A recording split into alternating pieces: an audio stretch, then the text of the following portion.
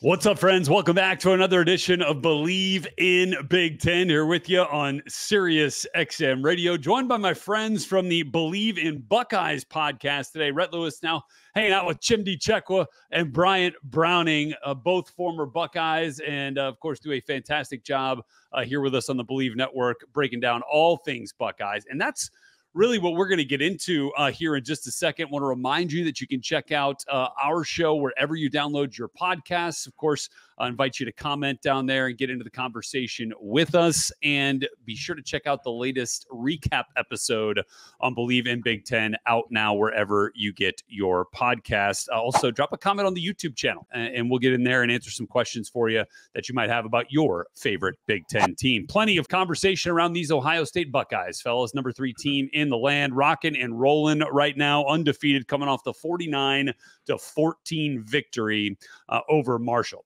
did what they had to do, right? What we all right. expected them to do. Yep. Uh, Jim, do I want to start with you here, and then Bryant, if you jump in, let. But before we get into like what that game meant, and then what next weekend or this weekend is going to look like against Michigan State, if you had, if you guys had a priority list, right, of what you needed to see from these Ohio State Buckeyes this year in order to get beyond that final regular season game hump and get into the college football playoff and make some noise. What were the things that you had to see this Buckeyes team do? Chimdi, let me start with you. Yeah, I think a consistent run game, one that, you know, regardless of what the defense is doing, regardless of what the opponent is doing, that you can just commit to it and execute. Um, and that's what's been lacking, I think, the last uh, couple years. And that's something that we expect in Ohio State. So it's it's kind of a surprise that it's been lacking. Um, I think that's the biggest thing. And eh, outside yeah. of that, you know, just the the uh, consistency on special teams and just really the the organization, right? Like yeah. be able to execute what um, you know you you you've gone out to do. And I think that's what slipped the last couple years. And you know they've had the talent, but you can just see that there was just a, a lack of ability to really execute the game plan in certain situations. Brian, would you have to add on that?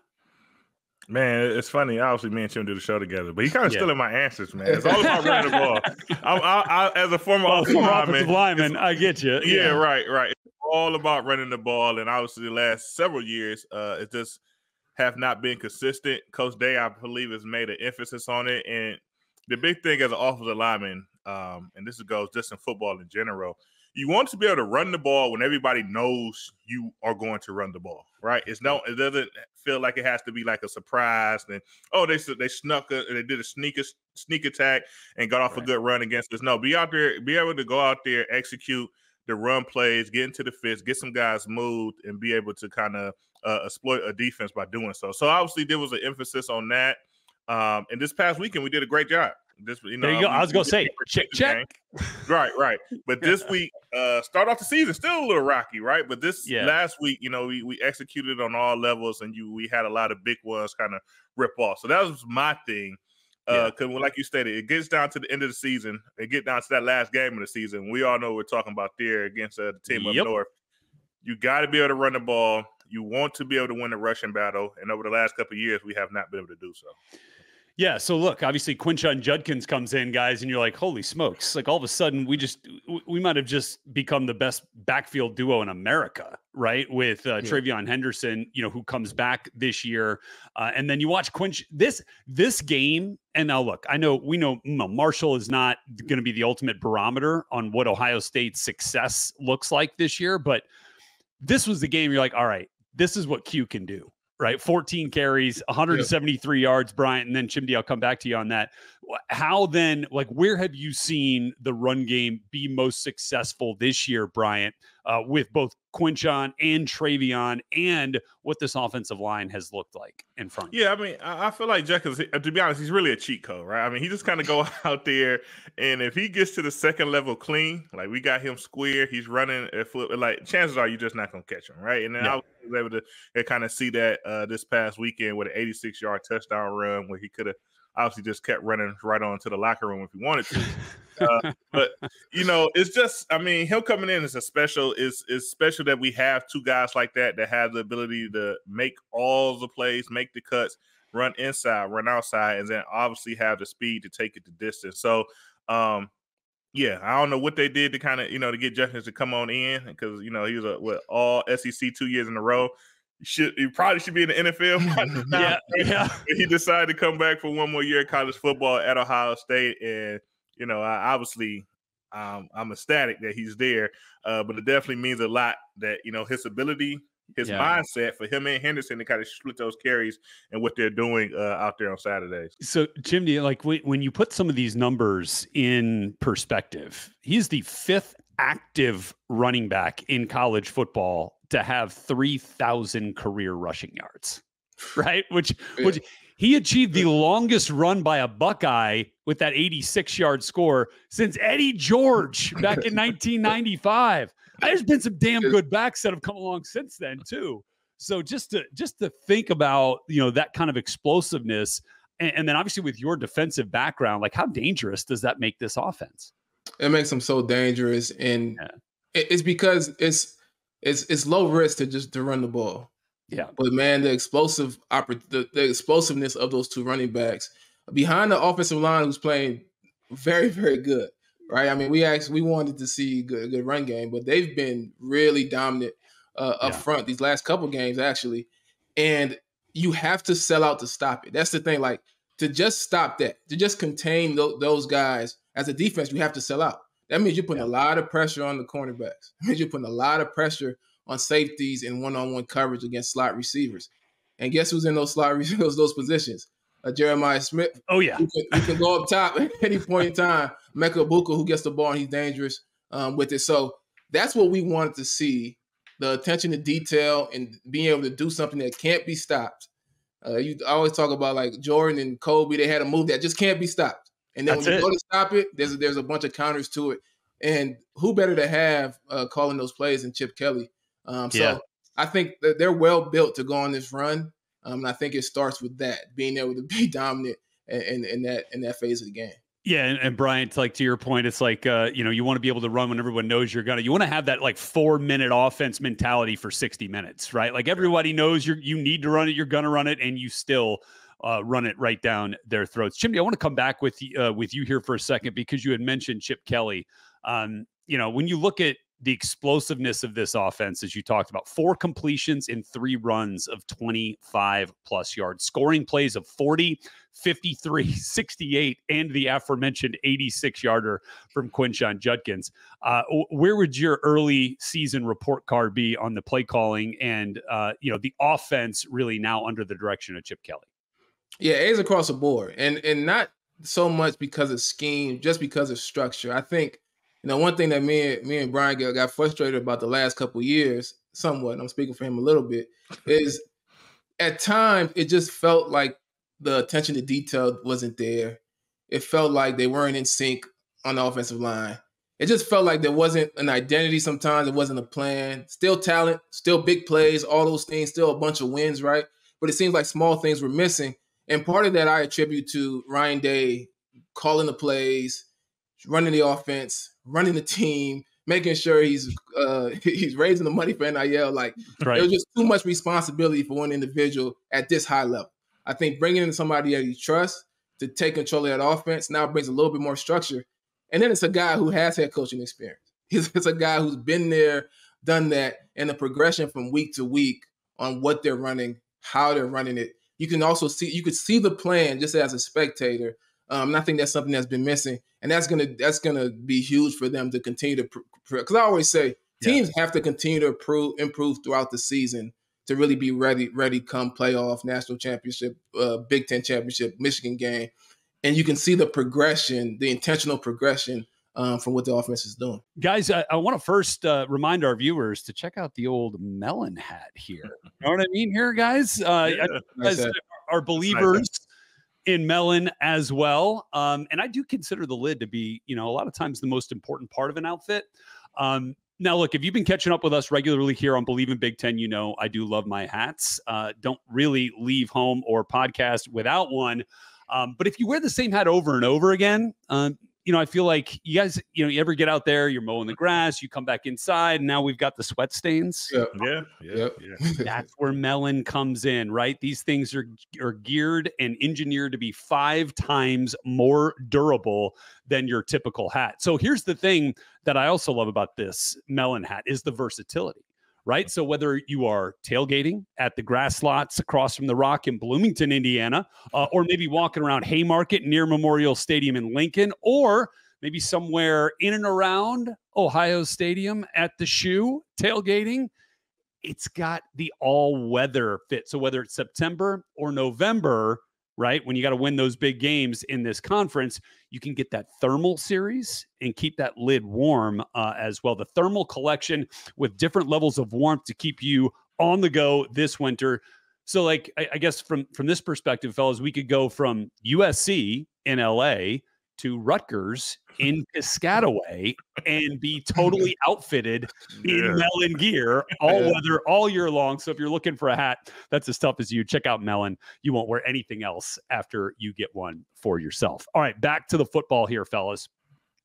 We last left off talking about this offense here. And Bryant, I want to get your opinion on Will Howard because when I talked to him this summer, he told me that coaching was one of the biggest reasons he came to Columbus. He wanted to be coached by Chip Kelly. He wanted to be coached by Ryan Day and you know the the rest of the offensive coaching staff, Brian Hartline, Justin Frye, like all those guys that come together to form a really talented coaching staff. I, I'm curious how you've seen Howard develop through these first four weeks of the season. Uh, well, I just feel like when he's playing, he's playing with a lot of confidence, right? And obviously, he has the experience of as he could that could match anyone in college football.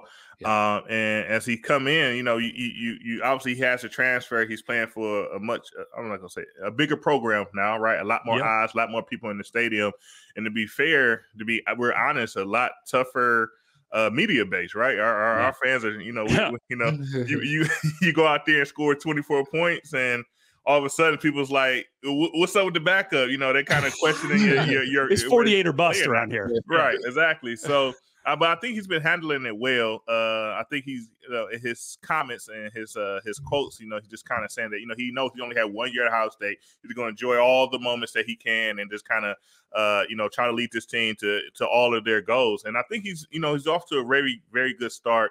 Um, looks confident. Um, looks like he's able to make uh to handle the decision making out there on the field because uh, obviously we're talking about Chip Kelly's office, right? We got options. We got different Yes. run pass options. We got the actual option with him and a running back, things of that nature that will be in the offense. And he's been just really been doing a great job of taking care of the ball for one, being confident, and just kind of really knowing his job is to get the ball to the playmakers and let them make big plays. Chimdi, what are your thoughts there? Yeah, you know, coming in and Brian talks about our fan base. There's there was a lot of doubters on you know what Will Howard could do if he was really an upgrade from a quarter year before. I think what Ohio State did this offseason, and not just with Will Howard, really across the board, is they acquired or retained experience. Um, and if you look at the last national champion, which is a team of North that I don't really like talking too much about. but- Asterisk, asterisk. on the back. Asterisk oh, wow. Yeah, put the asterisks on them. Um, but they had a, a ton of talented players, but those talented players had a lot of experience. Um, and what we've kind of been lacking the the last couple a few years, we obviously had the talent, but not being able to bring it all together. What Will Howard brings to this team, a really talented offense that he's going to have right at his disposal, but he brings the ability to command the huddle. He brings the ability to make the checks, make the decisions, take care of the football, which is what I think Ryan Day is looking for. How do we limit the mistakes? How do we make sure we get everybody in the right place and make the right decisions with good accuracy? If we can do those things, it's going to be tough to beat us. Um, so I think that that approach works with a guy like Will Howard, who's been there. He's seen a lot of football, and he has a, the, the ability to, to get it done. Jim, did you expect more in the run game from Will Howard uh, at the quarterback spot, or just they, maybe they haven't needed it, so there's no reason to put him at risk in that way? What's your thought on that one? Yeah, I think it's in, I think it's there, right? I think they they're it, they're preparing for it. They obviously haven't needed it yet, but I think one of the the the key decision the key decision points of bringing a guy like Will Howard in to bring a, a bigger athletic quarterback who can handle the hits, who can uh, make some plays in the run game, make it tough on the defense to be able to stop that run. So I, I think it's it, it's it's in the mix, and I think it's going to be used more in high leverage situations when we're playing against a, a team up north, when we're playing against some of the uh, Oregon and others, yeah. where we can really utilize this to to you know get the numbers on the defense and be able to put the ball in uh, Will Howard's hands to go make make some plays. Okay, last one on the offense here for you, Bryant. Um, Jeremiah Smith, uh, exceeding expectations, or is this about what you thought?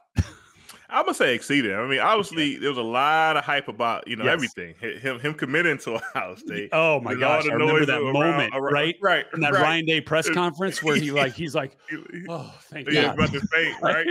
and then all the things you hear about him um, in practice, right, leading up in spring and then in fall, all the yeah. things. And I think like kind of going out there you know, it was a big opportunity for him to not live up to all of that, right? Like, cause it, it was so much, right? It was like, you know, everybody's kind of like, oh, this is the next Marvin Harrison Jr. Like, man, this guy just was a Heisman finalist. You just kind of put him right there as a true freshman. Uh, but he's really been this kind of uh, living up to par, man. And I think he's been doing a, a, fantastic job at, you know, making the plays that come to him. I think that goes back to coaching and the receiver room that he's in, right? You got a lot of talented guys around. He understands that, you know, he, he has to learn, he has yeah. to grow. And when he has his number called on Saturdays to to make a play, obviously, I don't know if you caught his very first pass at Ohio State, he drops right wide open, he drops it right, yeah. and then we kind of come right back to him. He started making some catches, he started getting some touchdowns. I do and, love that. Know, and that's just, I mean, that just goes to show that you know he's here for the long run. I think we probably only have him. We should.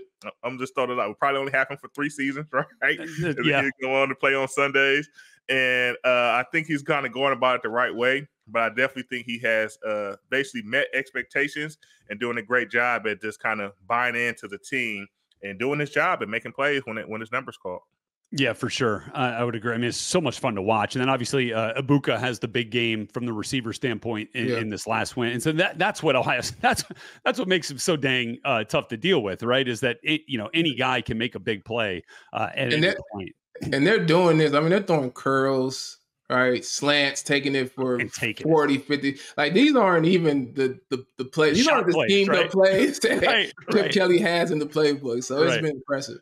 Uh, Chimdi, back to you now as we switch to the defense, and then uh, I do want to get your thoughts before we get out of here, both of you, just on the on the Big Ten landscape, and then what this Michigan State matchup looks like. But just to dig in on the state of the defense right now, look against Marshall. Look, they let up the opening you know drive touchdown, but then only one one other score beyond that. They were on the field for 36 minutes, but only average only gave up an average of 3.8 yards per play. That still feels like winning defense. Where are you at right now overall on the defensive side? Yeah, this Marshall game, and when they go back and watch the film, they're probably getting uh, torn, torn apart a little bit by the coaches. Not, not. I mean, I thought it wasn't a terrible game. Right. Um, but there was a lot of minor mistakes that build up to a frustrating outing overall. Um, and part of that is, you know, they didn't do much defensively. They just kind of played base defense, and Marshall had a good game plan, and Marshall made some plays. Um, but also a part of it is there was some mistakes made, and those are mistakes that you prefer to have against a Marshall that you can clean up in the yeah. next game. Um, but I think this defense this is a very, very talented defense, a very, very experienced defense they are I, what it comes down to for me is really you know how do they utilize the talent right? Because they have a lot of guys um that are that are that are versatile. Yeah. They're safeties they're linebackers they can do different things they're defensive ends they can drop in coverage they can they can they can rush. But how they come together and how they use that talent um, to be able to continue to to, to build is going to be what I'm kind of looking for. And yeah, I, am expecting as they start Big Ten play, I'm not expecting to see those same levels of mistakes that we saw right. versus versus Marshall, and I'm expecting a, a, a, attacking defense, a little bit more creativity in the in blitz packages than we've seen that we, we saw a year ago with Jim Knowles as the D coordinator. So uh, you know, I, I, think moving forward, we're going to see a very we we already the numbers already yeah. show a top defense, but I think that these next couple of games we're going to see a very very um, good defense, and with the talent that's there, there's no reason they wouldn't be one of the one of the better defenses to actually come through Ohio State. Yeah, no question. Uh, last one here on the defense before we move on here, Bryant, for you. Uh, this linebacker corps is different, but it's not new to Ohio State, right? Uh, with the departures of Eichenberg and um, and, and uh, Steele Chambers. But Chambers, yeah. Sonny Styles comes in, you know, after having kind of a versatile role, um, you know, a safety role, a nickel role, and now as as a second level defender. What would have been the early returns on on that front? Uh, well, you just see that he's he's learning the position. Obviously, yeah. we we know what type of talent Sonny Styles is. I mean, he's a very if you if you're next to, he's a big guy. Oh yeah, he's a, he's a, strong guy, and he has some speed to him as well. And obviously, he's now never been afraid of contact. Uh, but he's definitely learning, obviously learning a new position because as linebacker from safety, obviously things that happen a little bit faster, right? And if you're not if you're not in the right places when it comes to to fits and run games and things that nature, they could kind of they could turn a decent play and turn into a big play for the offense. So um, I think he's definitely uh, up for the task. Obviously, he's been learned a lot to even get to this point, right? Because you know, obviously we got we Ohio State, right? We got talented guys everywhere, and that's right. Uh, a lot of, uh, and also in that linebacker room. So to see him kind of make that transition and kind of go out there and uh, stick his nose in there, I yeah. think he's doing a fair job. Uh, but he definitely has some room to improve as we kind of get into Big Ten ball.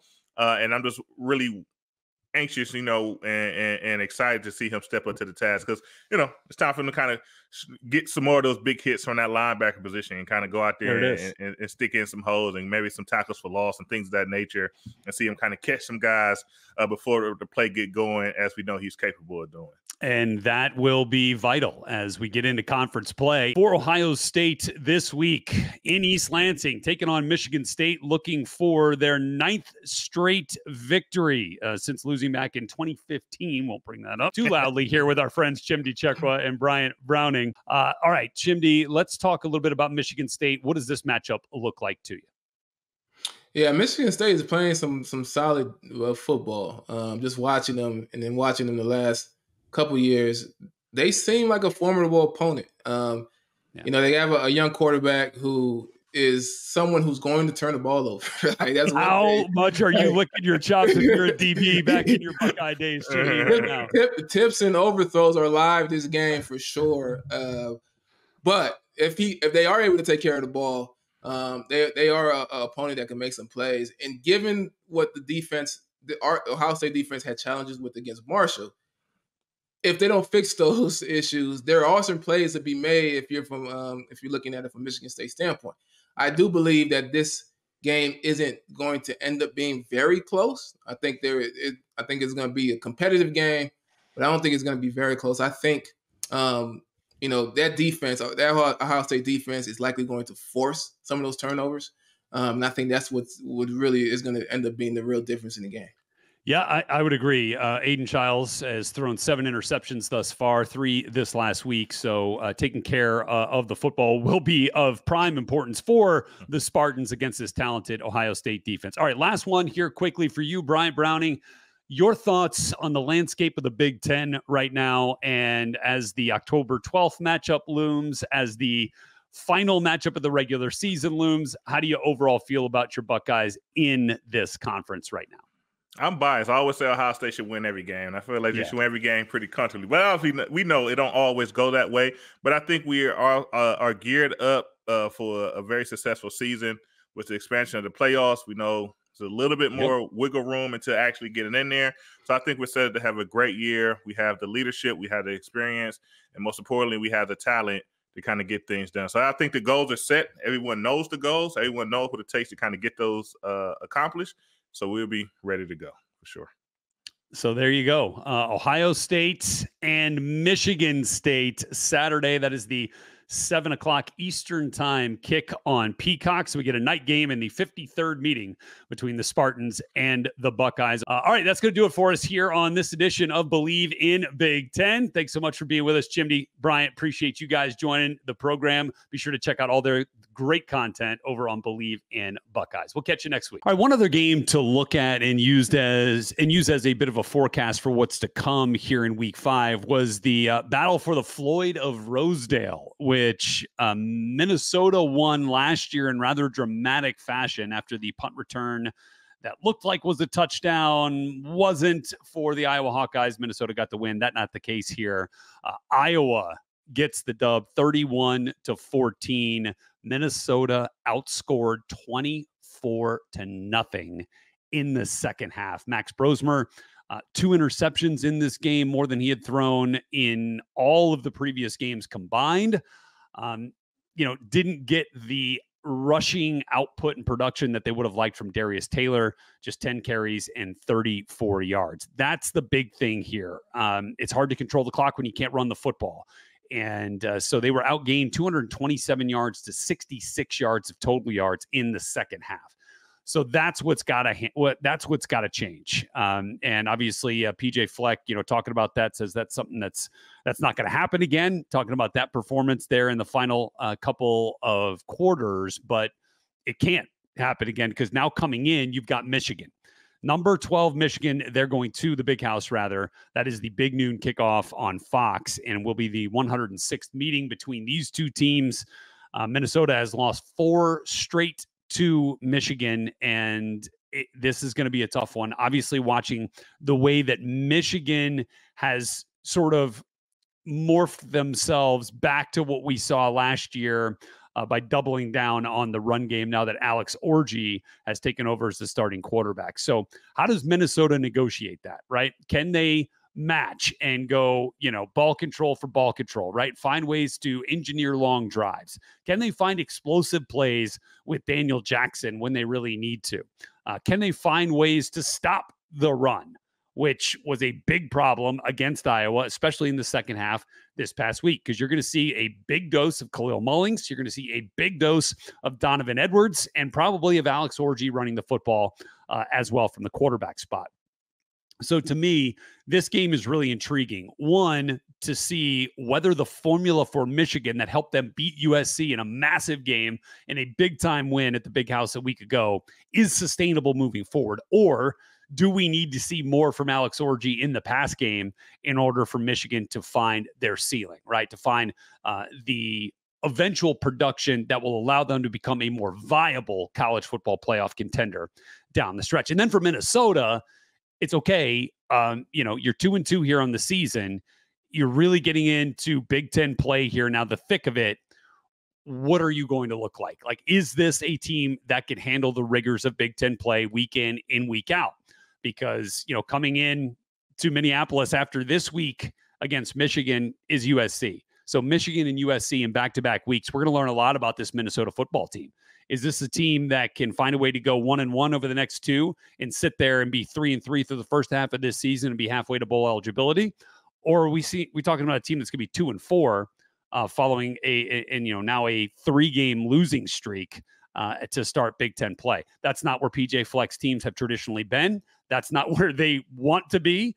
And so I think we learned a lot about where this Minnesota program will be uh, as we look at that matchup. Uh, Talked a little bit about that Indiana Maryland matchup, which I think uh, is a big one. Uh, Iowa, who got that big win over Minnesota in the rivalry game, is off uh, this coming week, so I won't really get to see what they have. But I think you know we, we talked a lot about Illinois and Nebraska and that Friday nighter from Week Four. But man, Illinois, 19th ranked team in the country, traveling to Happy Valley to take on a top 10 team in Penn State. Got my eyes on that one. Can't wait to see how Illinois backs up a big time win over Nebraska now with a big time game against Penn State on the road again. They are battle tested now in tough environments. So I do not think that the environment in Happy Valley will bother these fighting Illini that Bret Bielema has playing really well right now. Watch out for Pat Bryant. He's established himself as one of the better receivers uh, in the conference. So really looking forward to those two matchups in the Big Ten this week.